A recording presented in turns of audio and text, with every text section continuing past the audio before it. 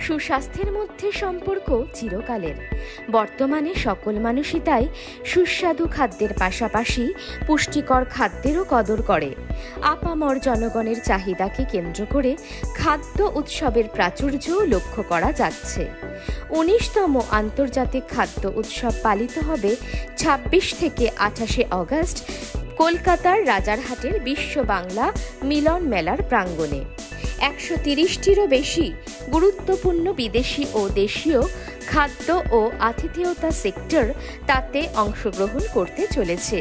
এর সাথে সম্মিলিত হতে চলেছে প্যাকেজিং, মিষ্টি তৈরি, কেক ও দুগ্ধজাত সামগ্রী প্রস্তুতকারক সেক্টর। টানা দুই বছর কোভিড পরিস্থিতি মানুষকে খাদ্য ও পরিষ্কার পরিচ্ছন্নতা সম্পর্কে আরও বেশি সচেতন করে তুলেছে। দু হাজার খাদ্য উৎসব সেই বার্তারই পরিবাহক হতে চলেছে।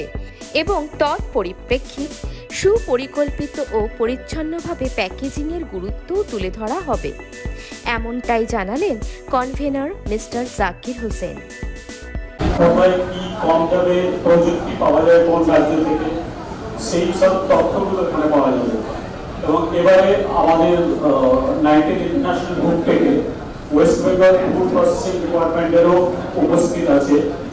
যেখানে তারা গভর্নমেন্টের বিভিন্ন স্কিম সম্বন্ধে মানুষকে ওয়াকিবহাল করবে কীভাবে গভর্নমেন্টের সাবসিডি পেয়ে আপনারা ছোট ছোট ফুড প্রসেসিং ইউনিট বা ফুড ইন্ডাস্ট্রি তৈরি করতে পারবেন, সেদিকে তারা সহায়তা করবেন এটা তাদের জন্যই কারণ কেসিকার বা যারা আপার লেভেলের যারা মিস্ট্রি শপস আছে, তারা অন্য স্টেটে গিয়ে টেকনোলজি সম্পর্কে আইডিয়া নিয়ে আসতে পারে।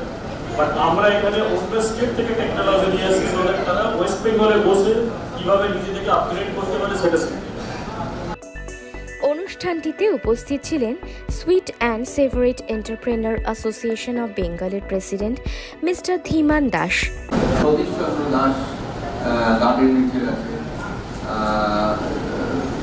চন্দননগরের এরকম ছোটখাটো অনেক শীতলা মাতা মিষ্টান্ন হয় আমরা ওদের ওনারা আমরা একটা স্পেস দিয়েছেন যেখানে আমরা স্টল করতে পারব তা আমরা চেষ্টা করব থেকে যেসব মিষ্টি যেগুলো যাচ্ছে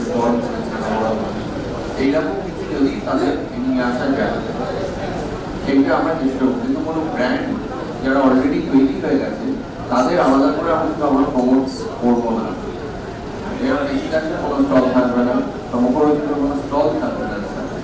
ইস্টার্ন চ্যাপ্টার এর অল ফুড প্রসেসার্স অ্যাসোসিয়েশনের মিস্টার রাজত বুদ্ধর রাজা এবং secretary general of hotel and restaurant association of eastern India mister Atikram Gupta এই বৃহত্তর প্রদর্শনীটি রাজারহাটের বিশ্ব বাংলা মিলন মেলার প্রাঙ্গণে একই ছাদের নিচে অনুষ্ঠিত হতে চলেছে এবং অনুষ্ঠানটি তিন দিন ধরে চলবে।